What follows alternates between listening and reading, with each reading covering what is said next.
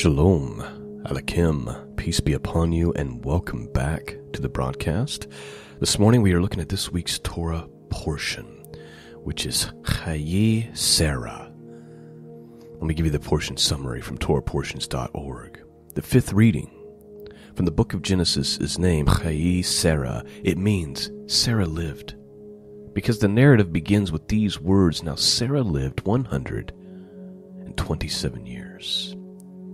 This portion of the Torah is filled with romance and sorrow. It tells the story of how Abraham mourned his wife after her passing and how he procured a wife for his son Isaac. At the end of this portion, Abraham is laid to rest beside his beloved wife. And so our outline kind of looks like this. We have the death and burial of Sarah to start the story. Then we have the marriage of Isaac and Rebekah. And then we have Abraham marries Keturah. Then we have the death of Abraham. And then we have some genealogy of Ishmael's descendants. Portion's not super long this morning, unlike last week. Uh, so it shouldn't take us too long to get through it. I do want to bring up one, uh, just you may may or may not find it interesting, but there is a Jewish tradition that makes this connection about Sarah and Esther as a fulfillment or a partial fulfillment or one of the fulfillments of kind of the prophetic utterance about Sarah that we have uh, in Genesis chapter 17. Now remember, Abraham is the father of the faith, right? He's the father of the Jewish faith. He's the father of the Christian faith. He's the father of faith. And likewise, Sarah, equally as important as the great matriarch of the faith, because she is the one that would birth these nations. She's the one that would birth the nation of Israel. She gives birth to Isaac, from whom Jacob the nation of Israel comes from. And in Genesis chapter 17, we read, And God said to Abraham, As for Sarai, her name hadn't quite been changed yet. As for Sarai, thy wife, thou shalt not call her name Sarai, but Sarah shall her name be, and I will bless her. And I will give thee a son also from her. Yea, I will bless her, and she shall be a mother of nations. Kings of people shall be of her. Now, this spiritual connection uh, to Esther. Queen Esther ruled over 127 providences as queen. And the Jewish tradition goes that that is a partial fulfillment, and that that 127 providences isn't by accident. Because just like Sarah lived 127 years and was promised that kings of people would come from her. Queen Esther ruled over 127 provinces. Just an interesting little tradition that I thought was worth noting this morning. All right, let's have a look at our portion.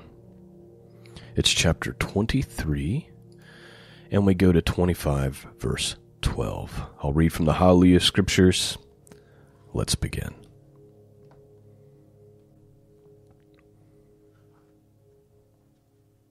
And Sarah lived 127 years, the years of the life of Sarah. And Sarah died in Korath, Arabah, that is Hebron, in the land of Canaan. And Abraham came to mourn for Sarah and to weep for her. Then Abraham rose up from beside his dead, and he spoke to the sons of Heth, saying, I am a foreigner and a sojourner among you. Give me property for a burial site among you, so that I bury my dead from my presence. And the sons of Heth answered Abraham, saying to him, Hear us, my master, you are a prince of Elohim among us. Bury your dead in the choicest of our burial places None of us withholds from you his burial site, from burying your dead. So Abraham rose and bowed himself to the people of the land, the sons of Heth. And he spoke with them, saying, If it is your desire that I bury my dead from my presence, hear me and approach me, Ephron son of Sahor, for me. And let me have the cave of Machpelah, which he has, which is at the end of his field. Let him give it to me for the complete amount of silver, as property for a burial site among you. And Ephron dwelt among the sons of Heth. And Ephron the Hittite answered Abraham in the hearing of all the sons of Heth. All who entered at the gate of his city saying, No, my master, listen to me. I shall give you the field and the cave that is in it. I shall give it to you in the presence of the sons of my people. I shall give it to you. Bury your dead. And Abraham bowed himself down before the people of the land, and he spoke to Ephron in the hearing of the people of the land, saying, If only you would hear me, I shall give the amount of silver for the field. Take it from me, and let me bury my dead. And Ephron answered Abraham, saying to him, My master, listen to me. The land is worth four hundred shekels of silver. What is that between you and me? So bury your dead. And Abraham listened to Ephron. And Abraham weighed out the silver for Ephron, which he had named in the hearing of the sons of Heth, four hundred shekels of silver, currency of the merchants. Thus the field of Ephron, which was in Machpelah, which was before Mamre, the field and the cave which was in it, and all the trees that were in the field, which were within all the surrounding borders, were deeded to Abraham as a possession in the presence of the sons of Heth, before all who went at the gate in of city of his city. And after this, Abraham buried Sarah his wife in the cave of the field of Machpelah before Mamre, that is Hebron in the land of Canaan. Thus the field and the cave that is in it were deeded to Abraham by the sons of Heth as property for a burial site. And Abraham was old, advanced in years, and Jehovah had blessed Abraham in every way. And Abraham said to the oldest servant of the house, who ruled over all that he had, Please, put your hand under my thigh so that I make you swear by Jehovah, the Elohim of the Shemayim, that is to say, the heavens, and the Elohim of the earth, and that you do not take a wife for my son from the daughters of the Canaanites among whom I dwell, but you go to my land and to my relatives, and take a wife for my son Yitzchak. And the servant said to him, What if the woman refuses to follow me to this land? Do I then take your son back to the land from which you came? And Abraham said to him, Beware, lest you take my son back there. Jehovah Elohim of the Shemayim, who took me from my father's house and from the land of my relatives, and who spoke to me and swore to me, saying, Take your seed, I give this land. To your seed I give this land. He sends his messenger before you, and you shall take a wife for my son from there. If the woman refuses to follow you, then you shall be released from this oath. Only do not take my son back there. Then the servant put his hand into the thigh of Abraham his master and swore to him concerning this matter. And the servant took ten of his master's camels and left, for all his master's goods were in his hands. And he arose and he went to Aram Naharayim, to the city of Nahor. And he made his camels kneel down outside the city by a fountain of water at evening time the time when women go out to draw water. And he said, Jehovah Elohim of my master Abraham, please meet before me this day and show kindness to my master Abraham. Please note, you gotta love Eleazar's faith and attitude, the way he serves his master Abraham, the way how concerned he is to, to do this task for his master. He gets there and he prays to the one true God. He says, Jehovah Elohim, please, for my master's sake, bless this, bless this mission. Verse 13, continuing his prayer, he says, See, I am standing here by the fountain of water, and the daughters of men of the city are coming out to draw water. Now let it be that the young woman whom I say, Please let your down your jar and to let me drink. And she says, Drink. and let me water your camels too. Let her be the one whom you have appointed for your servant Yitshak, and let me know by this that you have shown kindness to my master. Please note, I I would like to have the type of faith like like uh, Abraham's servant here has, that you can pray for a condition as a sign from God. Right? He's like, let it be that the one that I say, please get me some water, that she will of her own accord offer to water my camels too. Then I'll know that your hand is in this. That is massive faith. Let's continue on.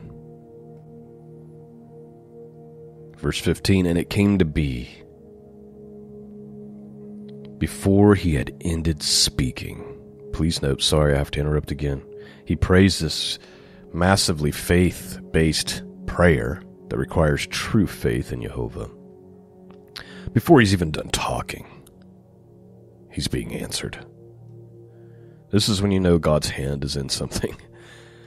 All right, sorry. Verse 15. And it came to be, before he had ended speaking, that see Rivka, that is to say Rebekah, who was born to Bethel, son of Milcah, the wife of Nahor, Abraham's brother, came out with a jar on her shoulder. And the young woman was very good looking, a maiden, no man having known her. And she went down to the fountain and filled her jar and came up. And the servant ran to meet her and said, Please let me drink a little water from your jar. And she said, Drink, my master. And she hurried and let her jar down to her hand and gave him a drink. And when she had finished giving him a drink, she said, Let me draw water for your camels too, until they have finished drinking. And she hurried and emptied her jar into the trough, ran back to the fountain to draw water, and drew for all his camels. And watching her, the man remained silent in order to know whether Jehovah had prospered his way or not. And it came to be, when the camels had finished drinking, that the man took a golden nose ring weighing half a shekels, and two bracelets for her wrist weighing ten shekels of gold, and said, Whose daughter are you? Please inform me. Is there room in your father's house for us to spend the night? So please note, Eleazar knows that he has found the most possible perfect woman for Isaac. His master is going to be very pleased, and obviously it's Jehovah's will. But you have this woman who is very beautiful, very good looking, the scriptures say. She was a virgin, so she's pure. Look at her attitude, how hardworking she is. She is a woman among women. And she said, verse 24 to him, I am the daughter of Bethel, Bethuel, Milcah's son, whom she bore to Nahor. And she said to him, We have both straw and fodder enough and room to spend a night. And the man bowed down his head and worshipped Jehovah. And he said, Blessed be Jehovah Elohim of my master Abraham, who has not forsaken his kindness and his truth towards my master. As for me, being on the way, Jehovah led me to the house of my master's brothers. Then the young woman ran, and she informed those of her mother's house those matters, and Rivkah had a brother whose name was Laban. And Laban ran out to the man to the fountain. And it came to be when he saw the nose ring and the bracelets on his sister's wrist, and when he heard the words of his sister Rivkah saying, Thus the man spoke to me that he went to the man and saw him standing by the camels at the fountain. He said, Come in, O blessed of Jehovah. Why do you stand outside? I myself have prepared the house and a place for the camels.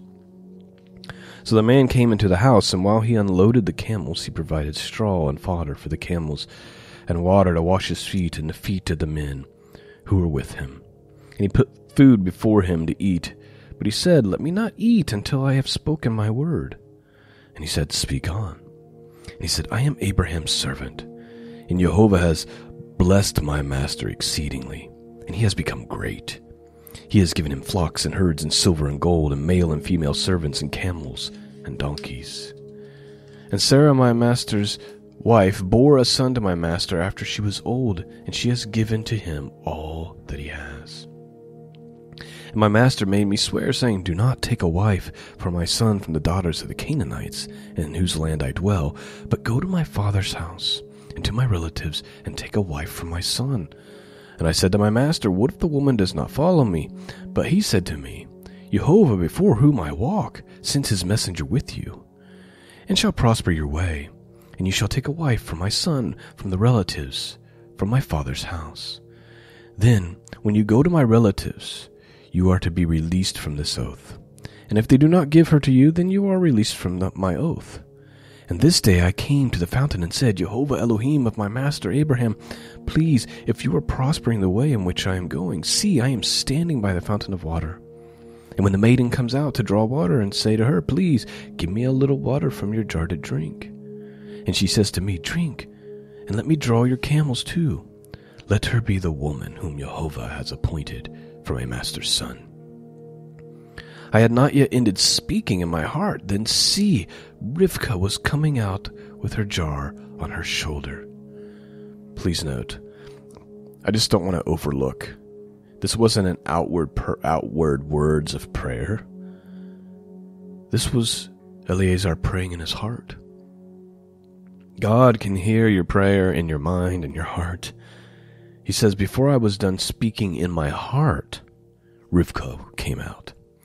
And she went down to the fountain and drew water. And I said to her, Please let me drink. And she hurried, and she let her jar down from her shoulder.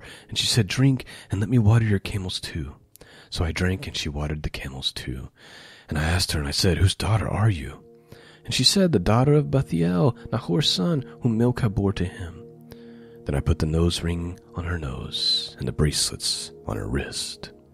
And I bowed my head and worshipped Jehovah and blessed Jehovah Elohim of my master Abraham, who led me in the true way to take the daughter of my master's brother for his son. And now, if you're going to show kindness and truth to my master, let me know, and if not, let me know, so that I turn to the right or to the left. And Laban answered Bethuel too, and said, The matter comes from Jehovah we are not able to speak to you either good or evil. See, Rivka is before you. Take her and go, and let her be your master's son's wife, as Jehovah has spoken. And it came to be when Abraham's servant heard their words that he bowed himself towards the earth before Jehovah. And the servant brought out ornaments of silver and ornaments of gold and garments and gave them to Rivka. He also gave costly gifts to her brother and to her mother. And he said to the men who were with him, ate and drank and spent the night. And when they arose in the morning, he said, Let me go to my master. But her brother and her mother said, Let the young woman stay with us for a few days, at least ten, then you go. And he said to them, Do not delay me, since Jehovah has prospered my way. Let me go so that I may go to my master. Please note, there's probably a sense in which Eleazar knows that Abraham's life is coming to an end, and he's trying to do this last great thing for his master. He wants his master to be comforted as he go, before he goes to the grave about his son and his son's future. And so you see, he's not wanting to be delayed. So this whole let her hang out with us for 10 days thing is not flying. He's like, no, let her come with me now. You know, there's a sense of urgency that I'm sure he has. He wants to be a blessing to Abraham, and he wants to get this one last task done. And he said, Let us, and he's, verse, verse 56, and he said to them, Do not delay me, since Jehovah has prospered my way. Let me go, so that I may go to my master. And they said, Let us call the young woman and ask her. So they called Rivkah and said to her, Are you going with this man? And she said, I shall go. So they let Rivkah, their sister, her nurse, and Abraham's servant, and his men. And they blessed Rivkah, and they said to her, Let our sister become the mother of thousands of ten thousands, and let your seed possess the gates of those who hate them. And Rivkah and her young women arose, and they rode on the camels, and followed the man. So the servant took Rivkah and left, and Yitzchak came from the way of Beer Lahai Roi for he had dwelt in Negev. And Yitzchak, that is to say Isaac, went out to meditate in the field in the evening. And he lifted his eyes and looked, and saw the camels coming. And Rivkah lifted her eyes, and when she saw Yitzchak, she dismounted from her camel. And she said to the servant, Who is this man walking in the field to meet us? And the servant said, It is my master. So she took a veil and covered herself. And the servant told Yitzchak all the matters he had done. And Yitzchak brought her into his mother Sarah's tent. And he took Rivkah, and she became his wife, and he loved her. Thus Yitzchak was comforted after his mother's death. So please note, we're almost done here. 18 more verses to read for chapter 25, but I just think it's a beautiful story. It truly is a perfect story of love and romance, and you have the buildup of is God going to provide? And then she is more than willing to go, and it's kind of a love at first sight thing. And Isaac, who was clearly, you know, grieving his the loss of his mother, finds comfort in the arms of Rebekah. Chapter 25. And Abraham took another wife whose name was Keturah, and she bore him Zimran, and, Yosh, and Yokshan, and Medan, and Midian, and Yishbag, and Shua. And Yokshan brought forth Sheba and Dedan, and the sons of Dedan were Ashurim, and Letshim, and Lumanim. And the sons of Midian were Ephan, and Epher, and Hanak, and Abidah, and Eldiah. All these were the children of Keturah. Now Abraham gave all that he had to Yitzchak, but to the sons of the concubines whom Abraham had, Abraham gave gifts while he was still living, and sent them away from his son Yitzchak eastward to the land of the east. And these are the years of Abraham's life which he lived, one hundred and seventy five years.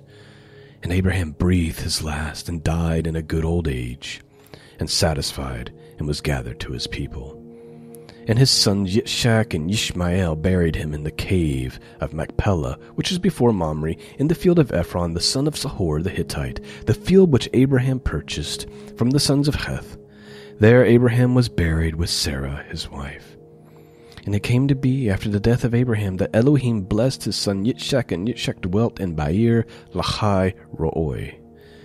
And this is the genealogy of Ishmael, Abraham's son whom Hagar the Mitzrayite, Sarah's female servant, bore to Abraham. And these were the names of the sons of Ishmael, by their names according to their generations.